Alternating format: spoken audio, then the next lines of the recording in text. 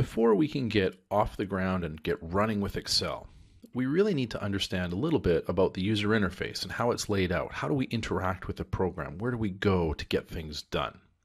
So this video's focus is going to be on exactly that, understanding the ribbon and where we actually find commands. The ribbon is the great big section up the top here with all the colorful buttons and tabs and whatnot. Now this is where all of our commands are generally stored and it's broken into a couple of pieces. In the very top left here, we have a line of icons that's called the Quick Access Toolbar.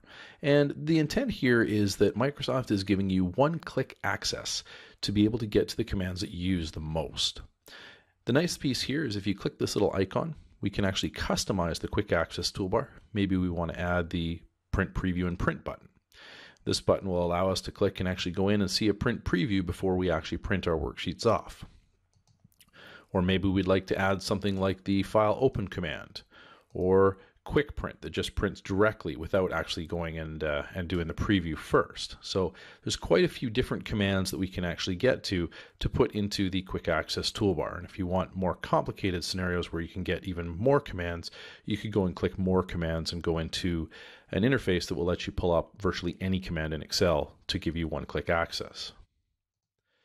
The next line down is what we call ribbon tabs. And you can see that right now we've selected the Home tab. We could click on the Insert tab or the Page Layout tab. And there's a whole bunch of different commands behind every one of these buttons. We have something called contextual tabs. If you'll notice, Table Tools Design tab here is showing up because I'm inside an actual proper table. If I click outside the table, that tab goes away.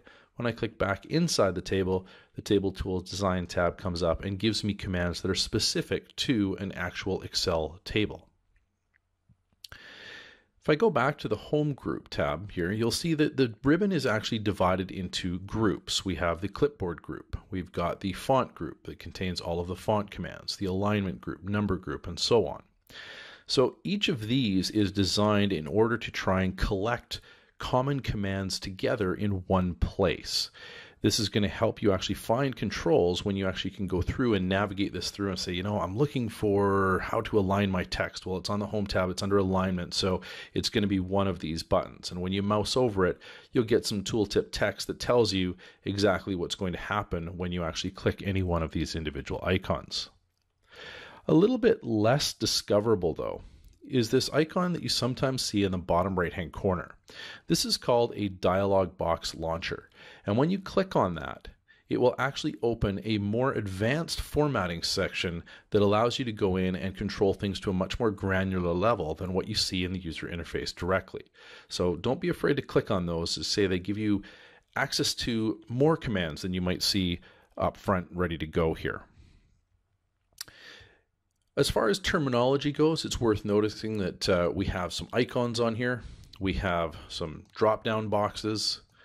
We've got things called galleries. So when I click on this, it'll give me a, a dynamic flyout menu. Um, it'll give us a bunch of different items on these. But if we go into format as table, this is a full gallery of items that actually comes up there. So it looks a little bit a uh, little bit different. The cell styles is a gallery as well right? So some different uh, ways. It's a very rich user interface design model. What's also interesting is that you can actually access any of these commands by using the keyboard. If you press your Alt key, you'll notice that you get these funky little icons or letters that come up in different places here. So if I wanted to go right now, say to the uh, Data tab, I would press A. And when I go to the data tab by pressing A, it now says, all right, well, what would you like to do from here?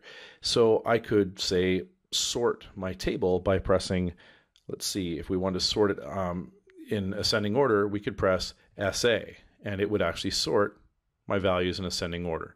And as soon as it's finished the chain, it actually knocks off all those letters. But again, pressing Alt will allow you to get in there. And if you do that by accident, you can press Escape to make it go away.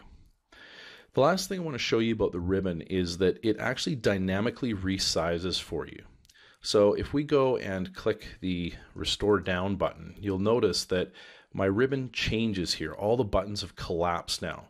And as I expand the width of Excel, you'll notice that those galleries and buttons, they, they start popping out and getting a little bit bigger. Now all the commands are still here, even when I collapse it all the way down It just might make them a little bit harder to find. So here's the alignment group. You can see the whole thing. Here's our number styles. You can see the whole thing and our fonts as well. So it's just something to be aware of. If you see something that looks slightly different in the design that I'm using, it's probably a screen resolution difference between the two of us. Mine may have shrunk down where yours may be more expanded or vice versa.